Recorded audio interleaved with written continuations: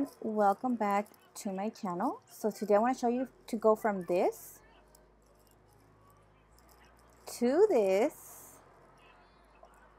to this. And I really hope you guys enjoy this video. Don't forget to give me a thumbs up. Don't forget to comment and subscribe. Let's go ahead and get started. So I'm going to be using the new hot tool from Bellami I'm going to be doing my hair. I already went ahead and I applied my extensions I will link all my videos on how I apply my extensions down below for you guys if you guys are interested.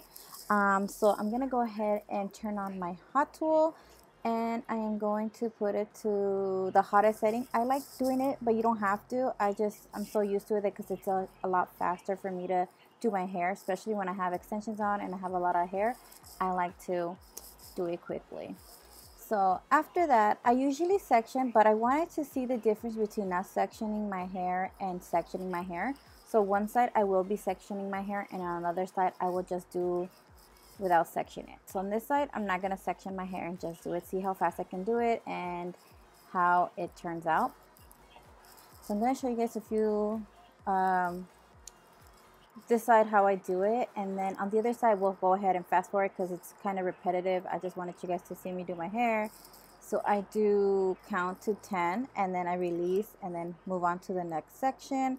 Um, I like to do it with a little curve on top instead of doing it on the bottom. I do try it the other way but I, I mean it looks the same but I just kind of like it with the little uh, bump on the top if you guys can see that so I'm just to go ahead and do that. So I normally just count to 10 and then I release and then move on to the next section. So that's what I'm to basically be doing to all my hair.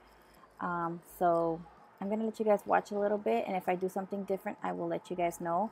Basically, I'm just going to crump my hair um, and then just toss it to the other side. So once I'm done, I throw it back and then move on to the next section. And yes, my hair is there. It's short so I do like to use the hot tool on my hair so that it kind of blends into my extension so you won't be able to see where my short hair is at and where the extensions are. So this will just help to blend everything together.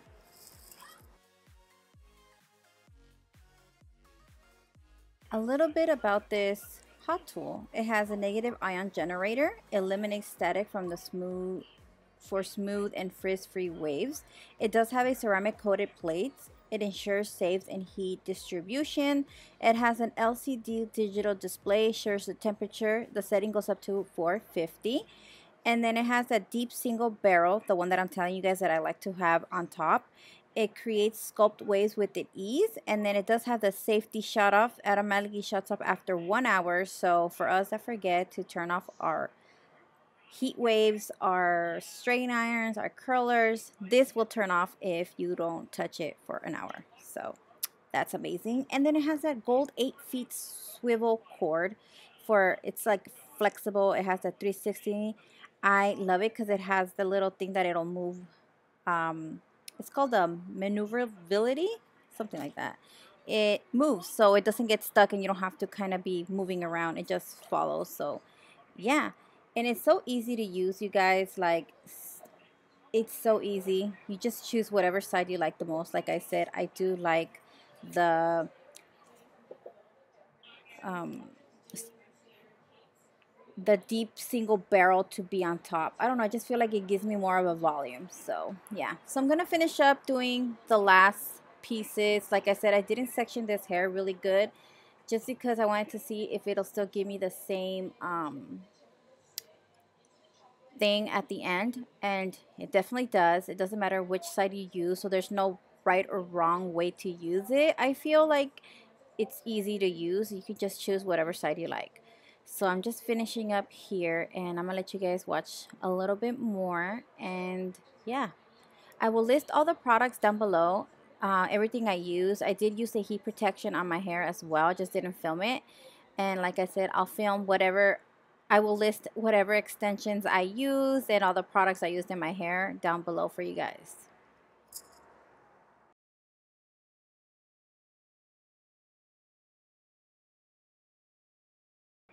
Alright, so for this part I did um, section it just because the top part does have most of my hair. So I kind of wanted to make sure that I did that part right because that part is what's going to show.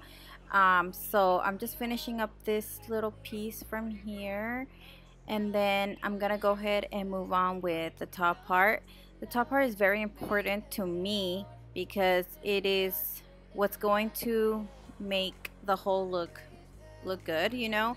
Um, so I like that this hot tool doesn't give me these crazy waves that I won't be able to fix it. So I'm going to show you guys what I mean. So as you guys can see the top of my head when I um, do the hot tool, as you guys can see I'm using the other side just to try it out see what, what differences does it give me. And honestly it just looks really nice looks the same. So I just went back and used the same one. But as you guys can see it doesn't give me that big hump that I've seen because I've used other tools and they give me a big weird hump at the crown of my head. And it just doesn't look right so this one doesn't give you that and I love that because I can keep my hair parted in the middle and I won't look funny because with other tools that I've used it does look weird that you have to part your hair to the side to make the hairstyle look good once you crumped your hair with the hot tools. So this hot tool doesn't give you that weird hump. That's what I liked about it. You guys will see at the end how amazing my hair looks with this this amazing hot tool guys. I love it. So like I said, I'll list everything down below if you guys are interested in checking it out. Um, any discount codes I can get for you guys, I will. I don't have a discount code for this. I will ask to see if they can give me a discount code for you guys, but I don't have a discount code. So, but any discount codes, anything that I can find, I will list it down below for you guys.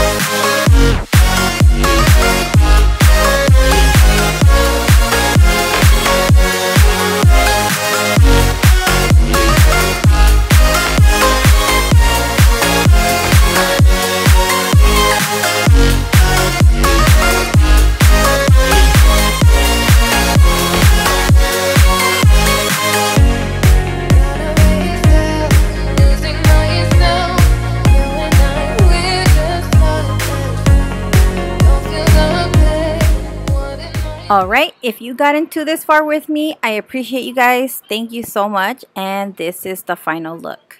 I really love how these waves came out. They look amazing. I love it. Definitely check it out. I'll link it down below for you guys. I want to thank you guys again for watching. Don't forget to comment and subscribe. Don't forget to leave me a comment. Please give this video a thumbs up. I love you guys so much and I'll talk to you guys in my next video. Love you guys. Bye.